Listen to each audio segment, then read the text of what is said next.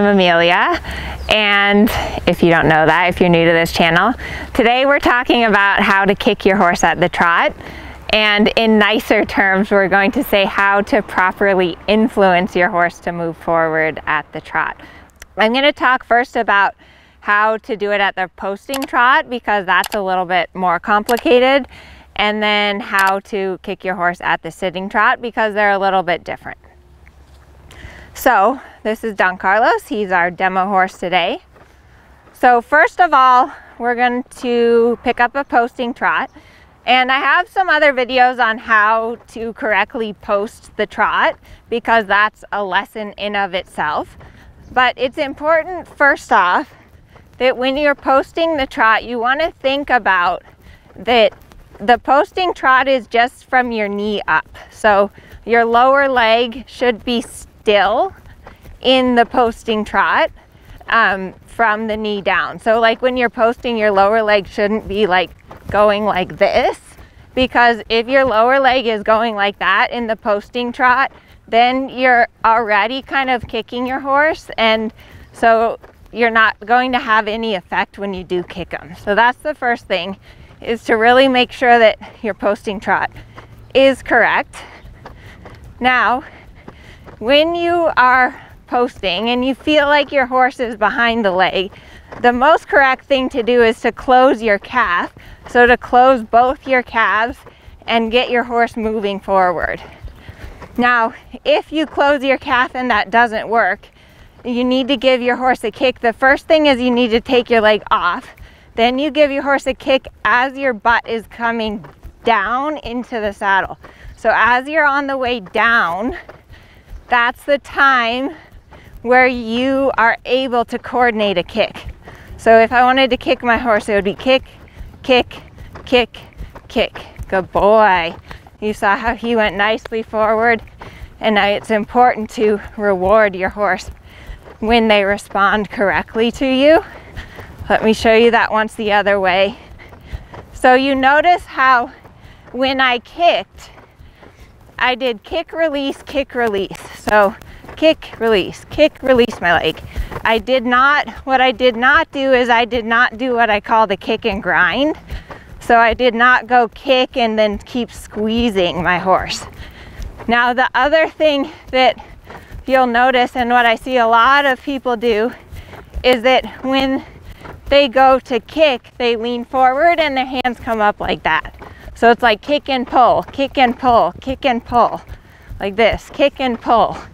So when you kick your horse, you want to keep your hands down and the kick is basically just from your waist down.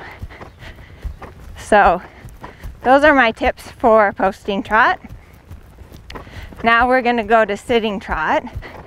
So sometimes it is easier to kick your horse in the sitting trot because you don't have to deal with coordinating the posting.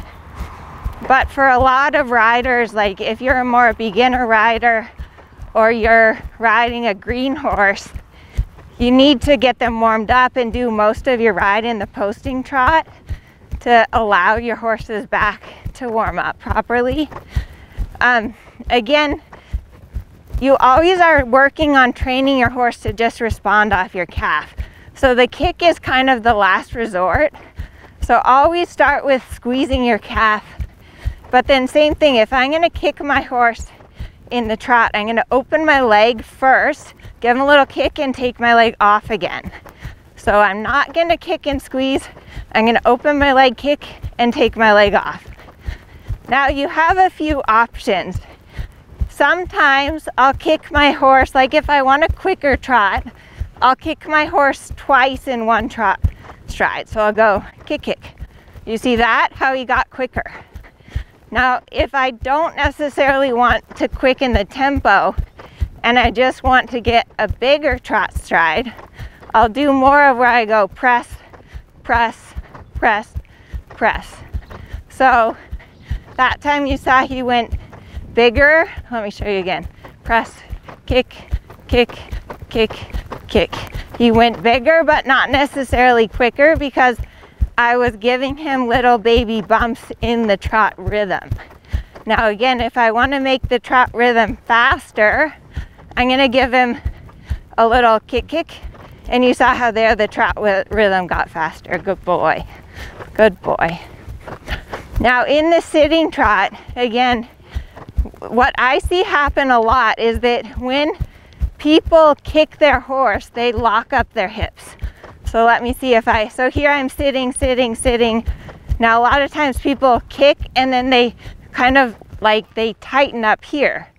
So when they kick, their hips lock up. And that's really giving conflicting aids to your horse. So it's really important that you have independent seat so that when you kick your horse, your hips are still really following in the motion. And then the other thing that I see a lot, which is the same as in the rising trot, is that when people kick, they also lean forward and pull. So they'll like kick and then at the same time they'll do this and they'll stiffen and lock their arms. Sorry, Don Carlos. So don't do any of those things. Really think about when you kick your horse that it's independent and that your seat and your hands stay out of it. Good boy. So I hope you enjoyed this video. Don't forget to give me a like and subscribe to my channel. Sign up for my email list in the links below. And we have some great dressage training videos and we love our horses. We love training dressage. So comment below and say hi. Tell us where you're from. I hope you enjoyed this video. The end.